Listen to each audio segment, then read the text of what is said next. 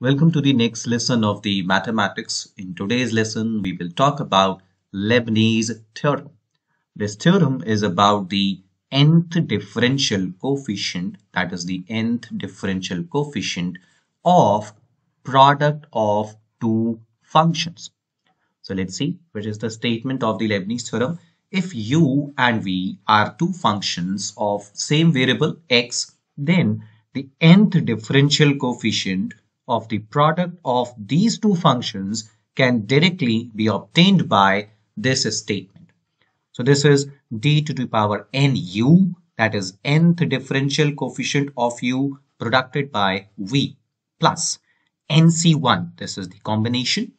d n minus 1 u that is the n minus 1th differential coefficient of u produced by dv that is the first differential coefficient of the function v. Let me remind you here d is basically equal to d upon dx. So if we'll say that if it is d square, that means d square will be equal to d2 upon dx square and so on. Plus nc2 dn minus 2u that is n minus 2th derivative of u dot produced by second derivative of u v plus and so on. And in the same way, if we replace this uh, with r some variable, then ncr n minus 1 r dot drv plus and so on. And the last term will be u dot dnv. As we can see here in the first function d to the power nu, then it is decreasing to d to the power n minus 1 u. Then it is dn minus 2 u and so on dn minus ru and lastly it will be d to the power 0 u. In the same way, uh, the differential coefficient for v is an increasing order d to the power 0 u. Then uh, we can d to the power 0 v and then we can see d to the power 1 v, d to the power 2 v, d to the power rv and lastly d to the power n v. So the differential coefficient here in u is uh, in decreasing order from n to 0 and differential coefficient for v is an increasing order from 0 to v. And this constant coefficient is, uh, again, it is in decreasing order, NC uh, 1, and then this is increasing, NC1, NC2, and then we have NC3 and so on, NCR, and lastly it will be NCN. So now let's see how we are going to prove this Leibniz theorem. Just to prove this Leibniz theorem, we'll be using the concept of mathematical induction. So what is mathematical induction? Basically, in here, we suppose that the equation is true from some small values of n, right? So we see whether this is true for some small values of n. If it is true, then we assume that it is true for some larger value of n, let's say m, and then we'll prove that the equation is also true for m plus 1. So we are going to perform these uh, three steps. So let's see what is the step number 1.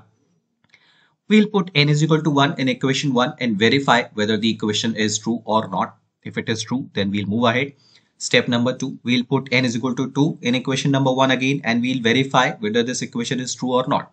If these two statements that is we are using small n. If these two statements gives us the result that the equation is true for n is equal to 1 as well as for n is equal to 2 then we'll go to step number 3 and we assume that the equation is true for some value of n is equal to m. And then with the help of this third statement, we'll go to the step number 4 and verify that the equation is also true for n is equal to m plus 1 and then we can conclude or we can say that the equation is proved. So let's start with the step number one where we need to put n is equal to 1 in equation number 1 and verify. So this is the equation number 1. Putting n is equal to 1 means the first derivative of the product of u and v.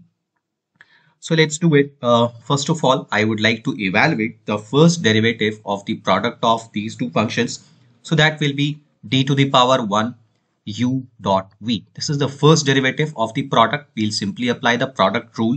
So uh, according to the product rule, we'll have uh, du first derivative of the first function dot v plus then we'll have u and derivative of the second function. So this is a simple product rule if you remember that this is d by dx u dot v then we used to write d by dx u dot v plus u dot d by dx of v using the product rule. So uh, the first derivative of the product of these two functions comes to be du dot v plus u dot dv. Now let's verify this with equation number 1 just by substituting n is equal to 1 here. If we'll substitute n is equal to 1 here, this will be du dot v. So the first term is du dot v. Now if we'll substitute n is equal to 1 here, this will be 1c1 d to the power 1 minus 1 u that is d to the power 0 u and this is dv. So 1c1 is always 1 d to the power 0 u that is u only and dv. So we have uh, 1 dot u dot dv. So we can see here 1 dot u dot dv. So we can say that this equation is true for n is equal to 1. So the step number one says that the equation is true for n is equal to 1. Now let's jump to the step number 2 where we'll put n is equal to 2 in the same equation and then we'll verify. So now let me derive the second derivative first of u dot v. So just to get second derivative, what we can do is we can get the derivative of the first derivative. So we have already evaluated the first derivative. So we'll apply this uh, derivative on the first derivative. So this is duv plus u dot dv. So I can replace here instead of this, this is du dot v plus u dot dv. Now on this I need to apply the derivative again. So this will be, uh, I'll apply the product rule here. So this will be d2u dot v as it is, then plus du dot dv. So this is the product rule on the first term. Then we'll apply a differential coefficient on this uh, second term. This will give us du dot dv plus u dot d2v. Summing up, this can be written as uh, d2u dot v plus we can say we have du dot dv, du dot dv. This will be twice of du dot dv plus u dot d2v. So this is the equation. And now let's verify whether we can get this with the help of the equation number one or not by putting n is equal to 2. So let's go back in equation number one and see. If I substitute n is equal to 2 here, so this will be d2u dot v, which is the first term, d2u dot v. Then we have a nc1 dn minus 1 u dot dv. So if I'll substitute n is equal to 2 here, so this will be 2c1 dn minus 2 d2 minus 1 that is du and then dv 2c1 du dv so we have here 2c1 so we have 2c1 du dot dv and we can see this is 2 can also be written as 2c1 so 2c1 can be written 2 can be written as 2c1 how let me show you the formula for this combination is factorial 2 by factorial 1 by factorial 1 minus 1. If you remember, we used to write NCR as factorial n by factorial r factorial n minus r. So using this formula, 2c1 can be written as factorial 2 by factorial 1 dot factorial 1 minus 1. So this will be factorial 2 upon 1 factorial and factorial 0. So this will be 2. We know factorial 1 is 1 and we know factorial 0 is also 1. So this is coming 2. So 2 can be rewritten as 2c1. So here 2 du dot dv can be written as 2c1 du dot dv plus we have a u dot d2v and here we have d2u dot v. So we can see this is also according to the equation. So we can see that this is also true for n is equal to 2. So from the first two steps, we get to know that this equation is true for n is equal to 1 as well as for n is equal to 2. Now comes the step number 3.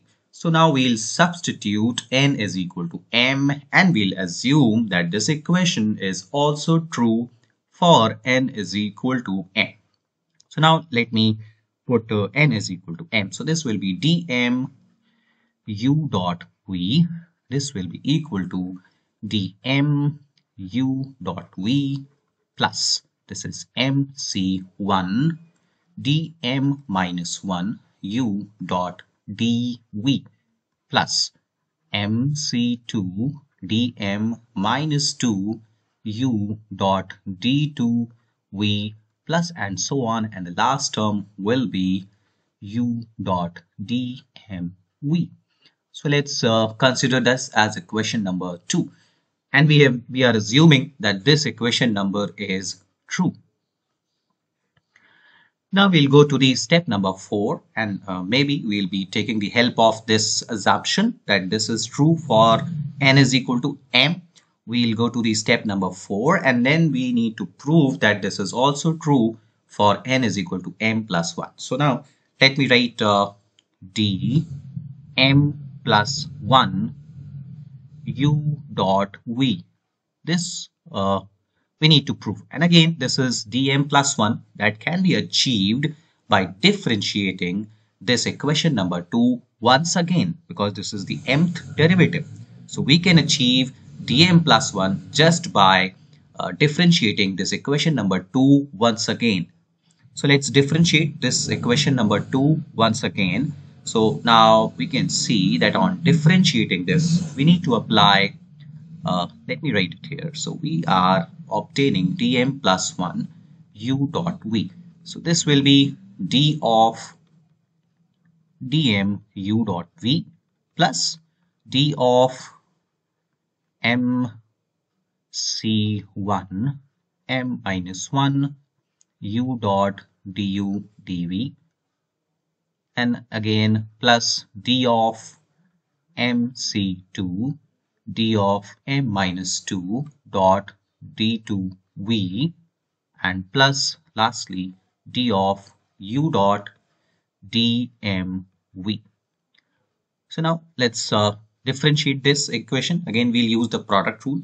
So product rule on dmu dot dv, this will be d of m plus 1 u dot v differential of the first function. So if it is dmu, Again, differentiating it will give you div dm plus 1 u plus first function as it is dm dot dv plus let's jump to this uh, second the term this is a constant mc1 we can keep it out. This is mc1 and again on differentiating this is uh, d to the power m minus 1 u. So now this will be d to the power m u.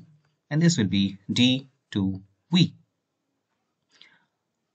plus. So this will be dv right now. This will be the product. So we have we are applying here the product rule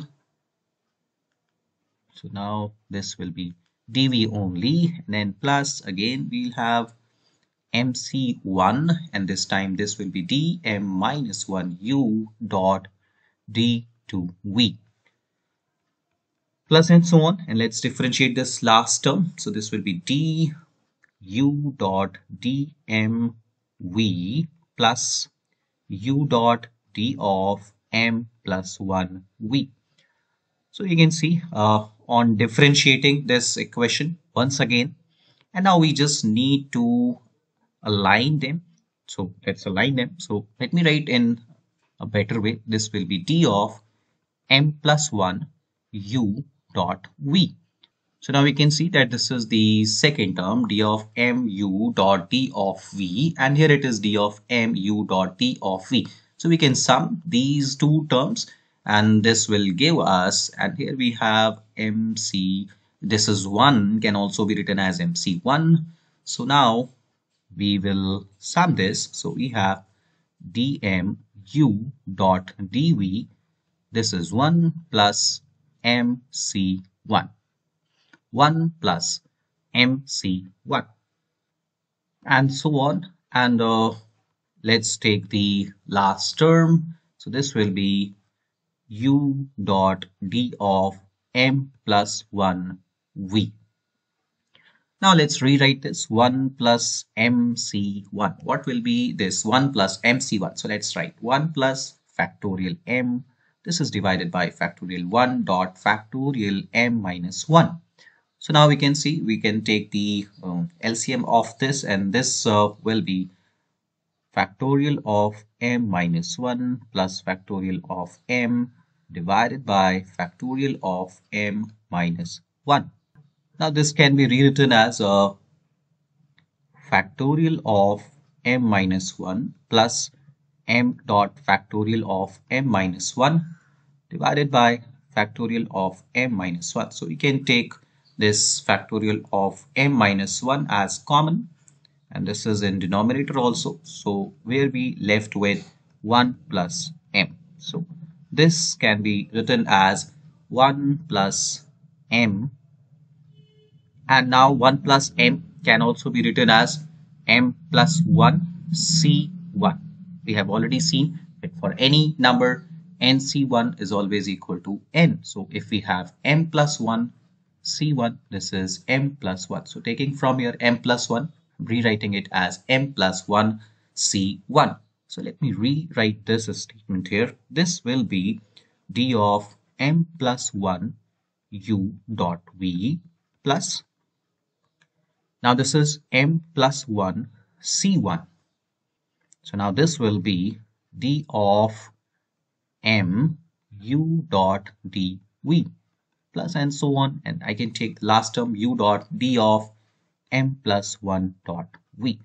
This is the equation coming after differentiating once again and let's see whether we can get this according to the equation just by substituting m plus 1 in the equation number 1 or not. So we can see this is the equation number 1 and we are taking here instead of n we are taking m plus 1. So this will be d of m plus 1 u dot v the first term. So now let's see, this is the first term, right? This is d of m plus 1 u dot v.